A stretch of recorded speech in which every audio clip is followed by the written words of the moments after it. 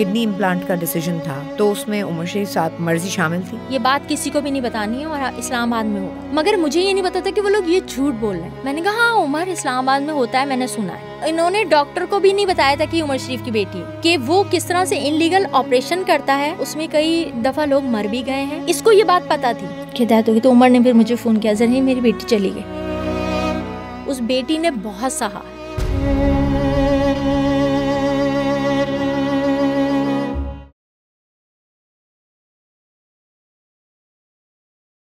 अच्छा ये जो किडनी इम्प्लांट का डिसीज़न था फैमिली की तरफ़ से या डॉक्टर्स ने जो कहा था तो जब ये डिसाइड किया गया और सर्जरी के लिए जाया गया तो उसमें उमर शरीफ साहब की जो है वो मर्ज़ी शामिल थी? नहीं क्योंकि उमर को मैंने आपको बताया ना मैं उमर को लेके अमेरिका शोज़ करने चली गई।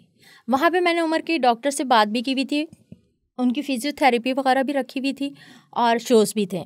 तो मैंने कहा इनका इस तरह दिल भी बहलेगा थोड़ा बाहर निकलेंगे नए लोगों से मिलेंगे वहाँ के लोग एक उम्र क्योंकि हर साल उम्र अमेरिका जाते ही थे। हाँ। तो एक बहुत बड़ा उनका एक फ़ैन फॉलोइंग फ़ैन फॉलोइंग भी और बहुत दोस्त वगैरह बहुत मैंने कहा थोड़ा चेंज होगा। और फिजियोथेरेपी वगैरह मैंने ज़रा ये वहाँ बाहर चले जाया करेंगे। तो मैं वहाँ लेके गई और वहाँ सब कुछ स्टार्ट भी हमने कर दिया। था उनकी फिजियोथेरेपी हो गई थी सब कुछ माशाल्लाह अच्छा चल रहा था। इतने में हमें पता चलता है कि जी उमर के बड़े बेटे की कॉल आती है कि जी, किडनी मिल गई। उसने उमर को जो धोखे पे, धोखा जो फैमिली दे रही थी ना, वो ये दे रही थी। उन्होंने कहा, किडनी मिल गई है। अब उमर भी खुश, हम सब भी खुश यार, किडनी मिल गई है। तो हमने कहा, चलो ठीक है। तो उन्होंने कहा, जी, किडनी मिल गई, अब इसका फ़ौरन ऑपरेशन करना है। उमर ने कहा, ठीक है, बस ये लाहौर में ही जो है ना, तुम डॉक्टर से बात कर लो, फला कर लो तो उसने कहा, नहीं नहीं, अबू लाहौर में नहीं करना। हमने इसको इस्लामाबाद लेके जाना है। तो मैंने कहा नहीं नहीं इस्लामाबाद नहीं लेके जाना जिस हॉस्पिटल में वो हो उसका वो डायलिसिस चल रहा है वहीं होगा मैं सब और महमूद भट्टी उनके दोस्त थे मैंने कहा मैं उनसे बात कर लूँगा सब उसने कहा नहीं अबू किसी को नहीं बताना है। ये बात किसी को भी नहीं बतानी है और इस्लामाबाद में होगा। अच्छा वो इनलीगल हो रहा था उमर को ये सब नहीं पता था। इनलीगल इनलीगल ये मीन्स यानी कि कोई किडनी किसी डॉक्टर से उसकी डील हुई थी। उसने कहा था कि कोई डॉक्टर फवाद है। जिसके ख़िलाफ़ सरेआम पे एक प्रोग्राम भी हो चुका है। वो ऑलरेडी एक दफ़ा गिरफ़्तार भी हो चुका था। कि वो किस तरह से इनलीगल ऑपरेशन करता है और उसमें कई दफ़ा लोग मर भी गए हैं और इसको ये बात पता थी। इसने उसी डॉक्टर के साथ दोबारा से डील की। लेकिन एक भाई अपनी बहन के लिए कैसे कर सकता तो यही तो हम सब ये जो हैरान हो रहे हैं, वो यही तो हो रहे हैं। उमर, मैं आज अगर उनकी बेटे के बारे में ऐसी बात कर रही हूँ तो मैंने ये सहा है। मैंने अपने घर तबाह होते हुए देखा है। मैंने उस आदमी को मरते हुए अपने सामने देखा है। मेरा दिल देखें कि मैं मैं मैं क्यों बोलूँगी? वो बेटी मरी है। वो बच्ची मर गई। डायलिसिस पे लोग सालों जीते हैं। उसका डायलिसिस चलता रहता, वो ज़िंदा होती। ये एक भाई का डिसीज़न था। और खूनी रिश्ते ऐसे बदलते हैं, चाहे वो बेटे हों, चाहे वो भाई हों, चाहे वो बहनें हों, चाहे आप दूसरी औरत पे तो एकदम से ब्लेम कर देते कि यार यार वो लालच में क्या से क्या पैसे लेके चली जाएगी ना? वो किसी की जान नहीं लेके जाएगी। वो दौलत लेके चली जाएगी, घर लेके चली जाएगी, गाड़ी ले लेगी ना? मगर जब ये खूनी रिश्ते बदलते हैं ना, ये अपनी बहनों की जान ले लेते हैं। और अगर यकीन नहीं आता तो ये तो लाहौर में सबको पता है।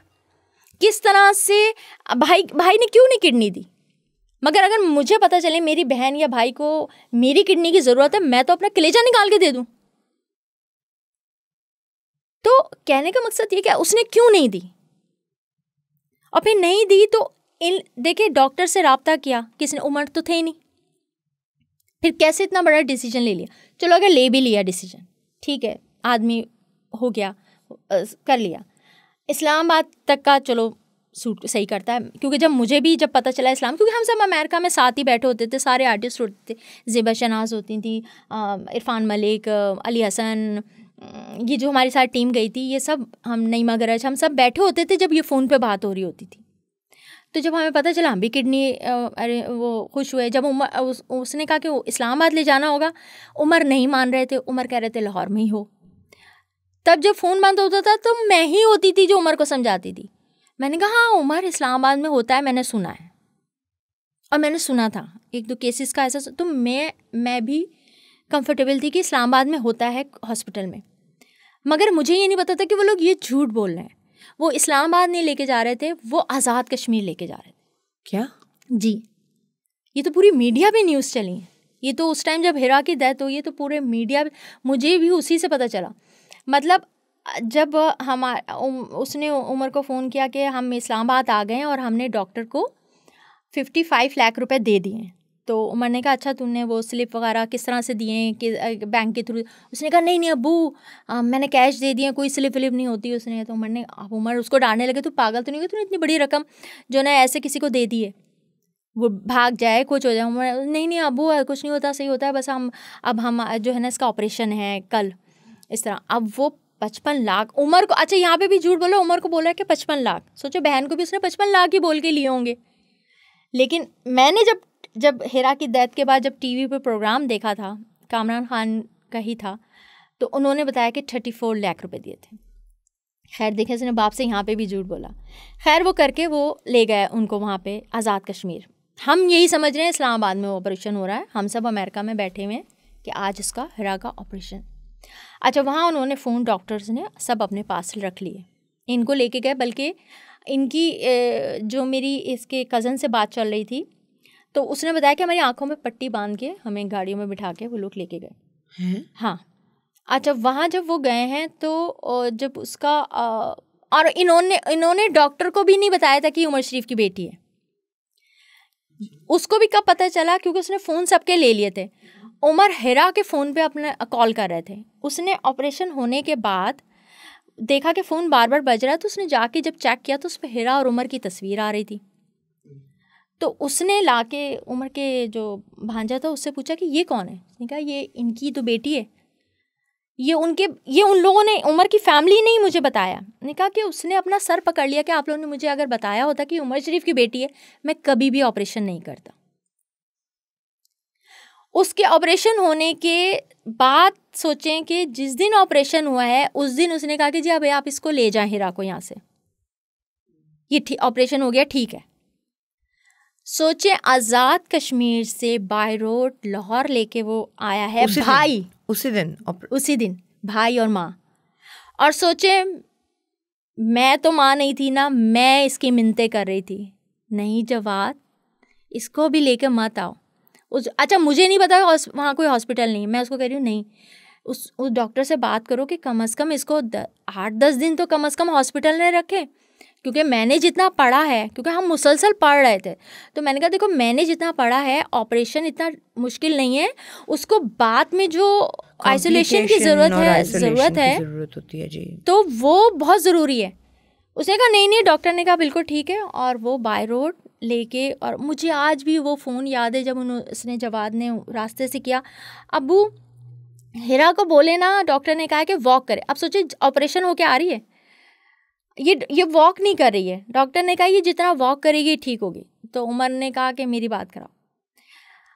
उमर अपनी बेटी से जिस तरह शायस्ता बात करते थे, अगर आप वो बातें देख लेना तो मैं कहती थी वो बातें इतनी प्यारी होती थी और जब उस टाइम उमर, और इतनी उम्र भोले लग रहे थे ना उस टाइम मैं मतलब हम सब रो रहे थे, आप यकीन जाने।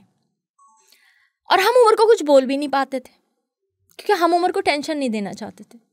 मैं जब ये जवाब से बातें भी करती थी ना तो जब उमर अंदर, उमर का होता था, मैं जाके सलात तस्बी पढ़ लूँ। वो अपनी बेटी के लिए जब सलात तस्बी पढ़ने जाते थे रूम में, तब मैं जवाद को फ़ोन करती थी। जवाद खुदा के वास्ते इसे हॉस्पिटल ले जाओ। इसे हॉस्पिटल पागल हो गई क्या? पागल हो गई क्या? मैं इसको हॉस्पिटल लेके जाऊँगा, पुलिस मुझे गिरफ़्तार कर लेगी। एक ही जुमला उसका होता था। मैं कहती थी, कर ले गिरफ़्तार। छुड़ा लेंगे तुम्हें। तुमने कोई कत्ल नहीं किया है। कुछ नहीं होगा। हम कह देंगे, भाई, वो मजबूर था बहन की मोहब्बत में उसने ऑपरेशन कराया। हम कर, तुम्हारी बेल, मैंने कहा, मैं करवाऊँगी।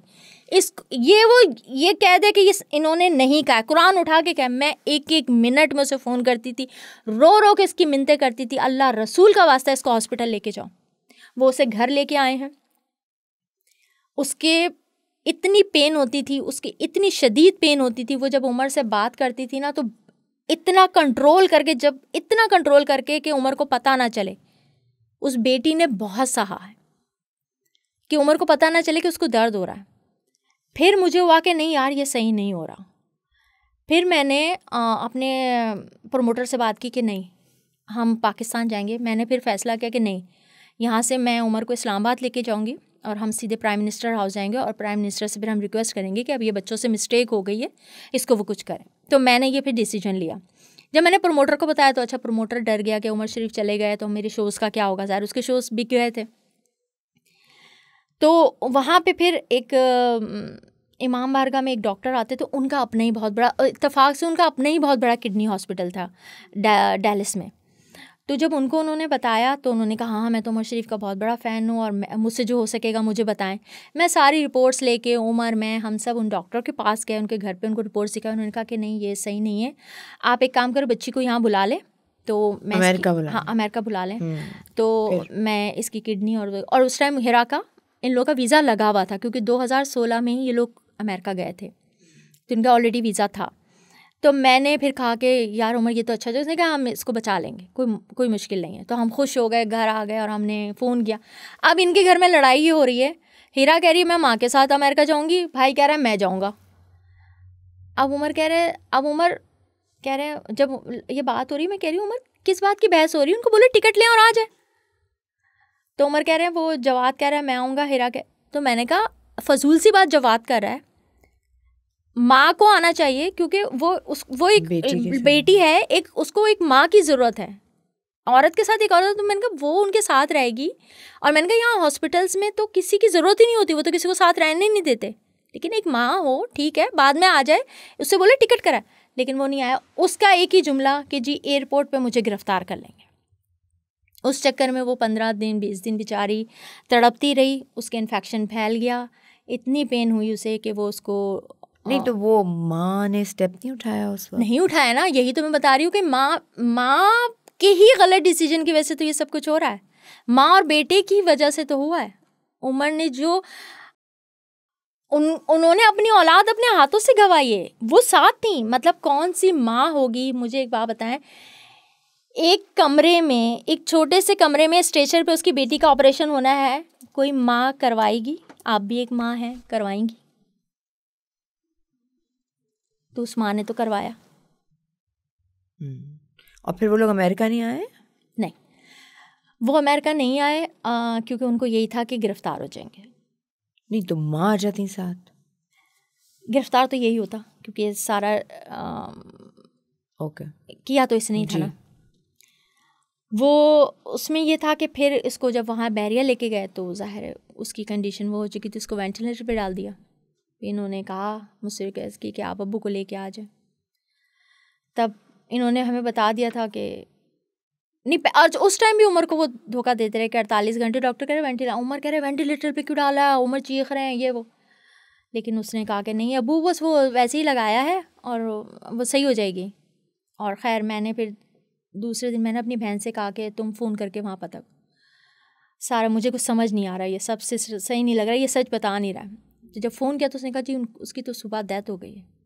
हैं? उसकी सुबह छः आठ बजे डेथ हो गई थी। तो आ, आप लोगों को पता नहीं था उसकी डेथ का?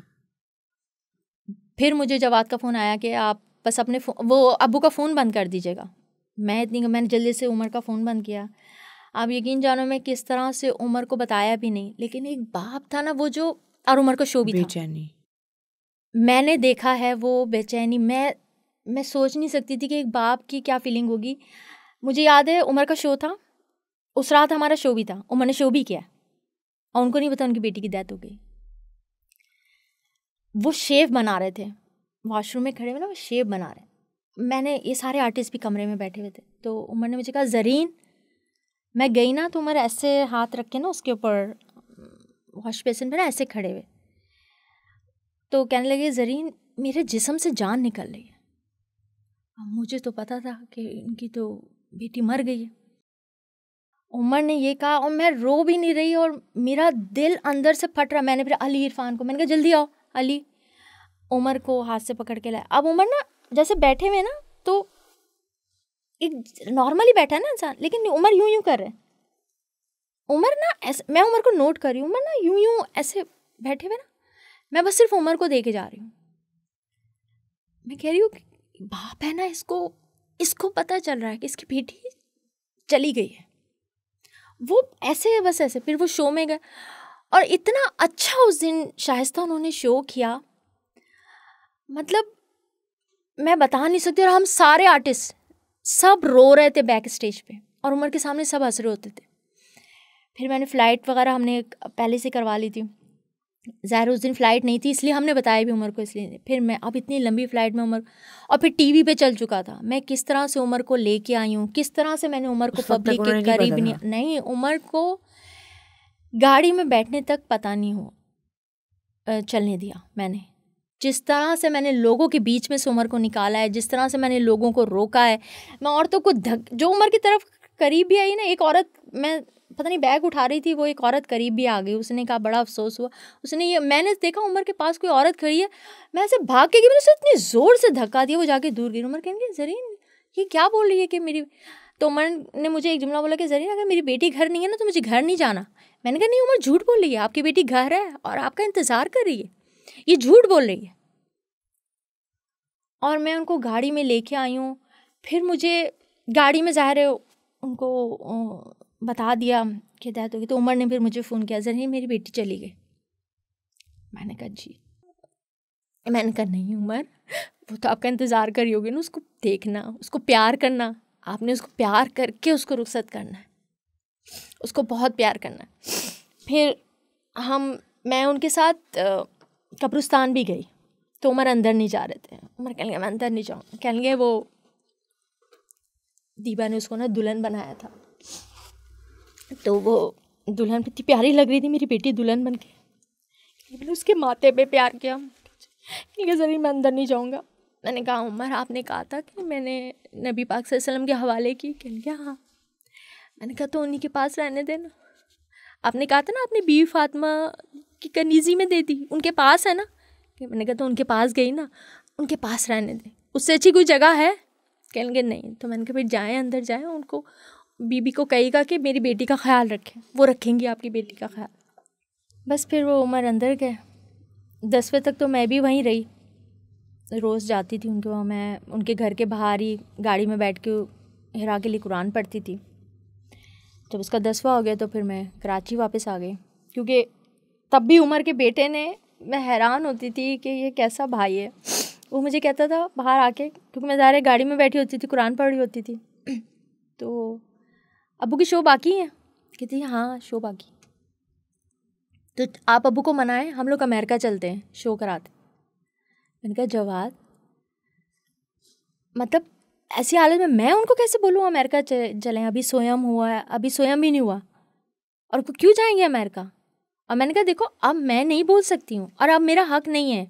अब अगर कोई बोलेगा वो तुम्हारी अम्मी बोलेंगी तो उस पर उसका पहली दफ़ा एक जुमला आया था हर चीज़ पे अब तो हर चीज़ पे हमारा हक है।